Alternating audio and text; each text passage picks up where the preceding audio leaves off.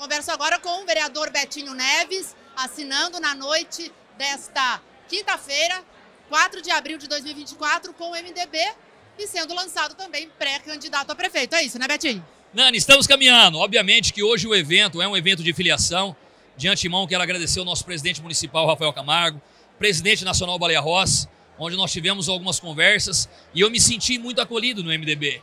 Um acolhimento e, principalmente, autonomia para poder trabalhar. O partido ele é fundamental na vida de um político, ele é importante, mas o político ele precisa ter autonomia para tomar suas decisões, para que quando acertar, chame a responsabilidade para si e quando errar também. Então, para mim é uma noite memorável, poder estar participando com quase mil pessoas aqui presentes é uma é muito gratificante para nós. Betinho, já tem um nome de um vice ou uma vice para sua futura chapa?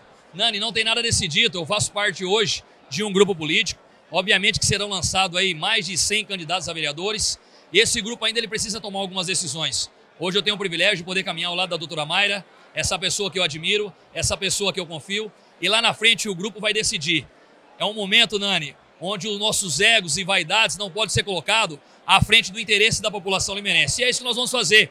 Um grupo político de pessoas de bem, com lideranças religiosas, lideranças políticas, lideranças comunitárias, lideranças empresariais. E quando esse grupo entender o melhor nome para que possa concorrer às futuras eleições, com toda certeza vai ser anunciado também. Betinho, para a gente finalizar, qual que é o maior desafio para Limeira hoje? Sendo você, sendo doutora Mayra, uh, futuramente disputando eleições, nós estamos falando em pré-candidaturas, mas a sua análise, vendo Limeira hoje, o que a nossa cidade mais precisa?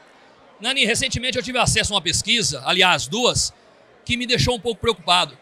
A primeira delas é que Limeira hoje, no último censo, conta com 282 mil habitantes. 292 mil. Já foi um pouco mais. O que está acontecendo? As pessoas estão indo embora de Limeira? O porquê que essas pessoas estão saindo da cidade? Isso de fato é algo muito preocupante. E a segunda delas, numa pesquisa no qual nós tivemos acesso, que somente 72% da população limeirense está feliz com a nossa cidade. Por que não chegar no 100? E é isso que a gente precisa ver. O grande segredo, Nani, de um grupo político é poder ouvir a população. As questões técnicas, elas são importantes, muito importantes.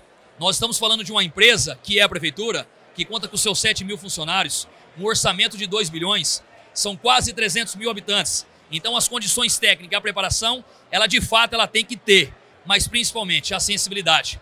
Político que não tem sensibilidade, político que não tem empatia e político que não empresta os seus ouvidos para ouvir as dores da população, infelizmente não dá certo. E essa é a proposta que a gente está vindo.